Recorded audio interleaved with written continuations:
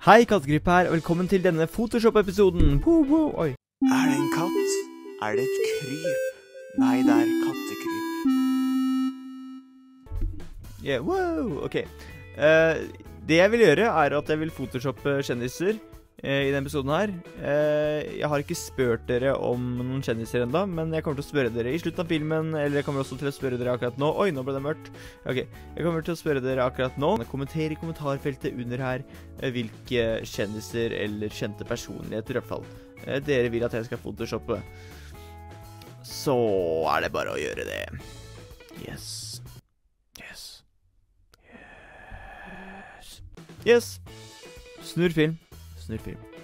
Justin uh, Bieber, for eksempel, da.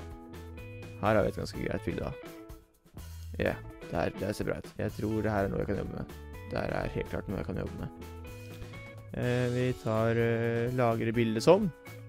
Nei, vi kopierer bildet bare. Yes, her har vi da bildet vårt. Det her er da det vi har å jobbe med.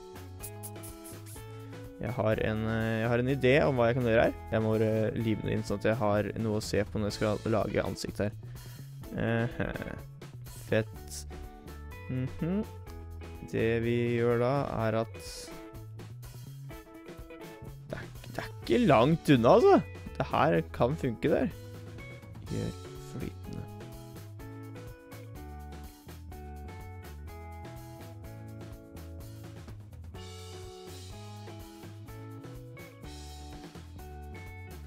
Veldig bra. Ja, nå er vi inne på noe her.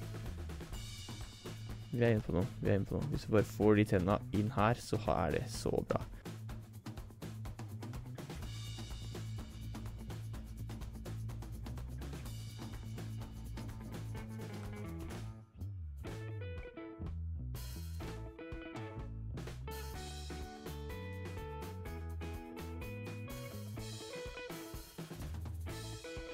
OK.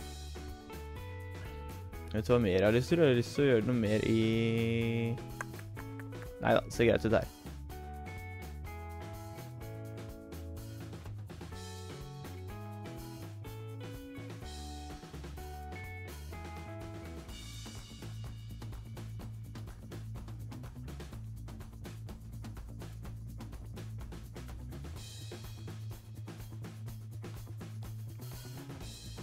Under de forholdene jeg har eh, spilt under, eller gjort dette her under, så syns jeg altså det vi har kommet fram til her, er egentlig er et veldig greit bilde.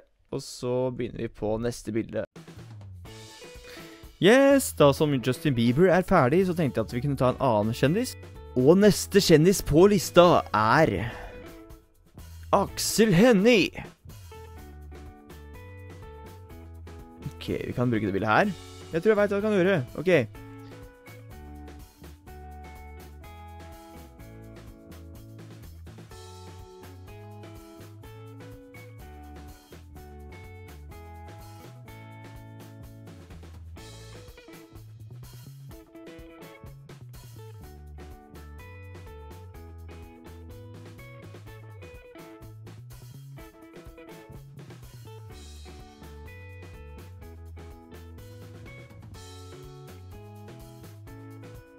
Jeg har aldri sagt at jeg er profesjonell i Photoshop.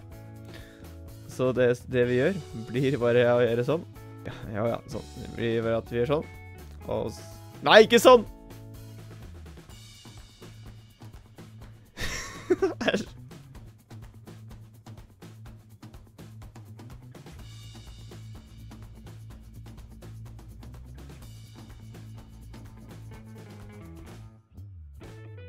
Det er da Aksel Hennies nye rolle i filmen 'Oppdrag Aksel'.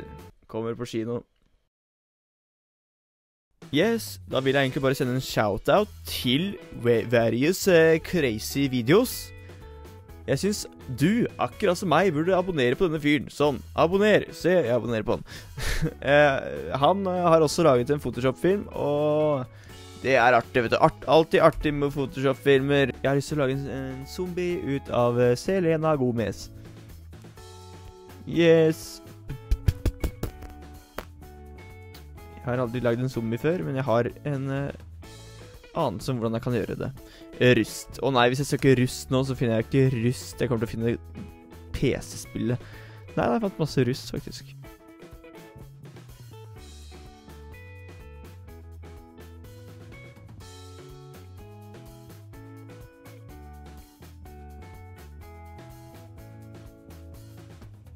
Skal vi ta litt sånn derre tar vi en fotballfrue. Vi tar en fotballfrue. Vi tar en fotballfrue. Sånn, ja. Kjempebra.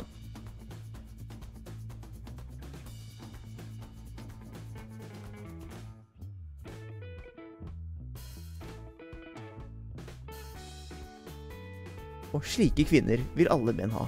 Nei da, vi går tilbake. Mye penere, faktisk.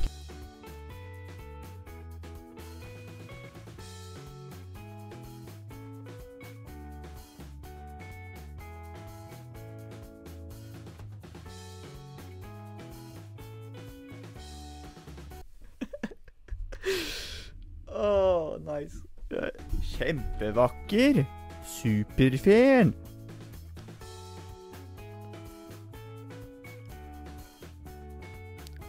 Om du prøver å si at hun er inne på meg nå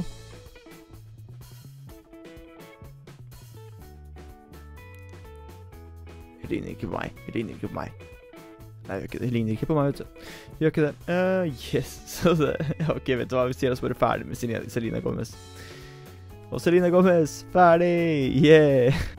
Det var egentlig alt jeg hadde, hadde for i dag. Uh, men i hvert fall, hvis, hvis du vil se mer av det her, så er det bare å kommentere navnet på en eller annen person du vil ha photoshoppa under i Under i feltet under denne filmen her. Eh, eller eh, bare skriv til meg på Facebook eller et eller annet. Eller bare abonner på min kanal hvis du vil se mer av hva som helst. Eller bare Ja, like videoen hvis du likte den, og ja, bare Yes, alt sammen. Men eh, det var alt for i dag. Kattekryp ut.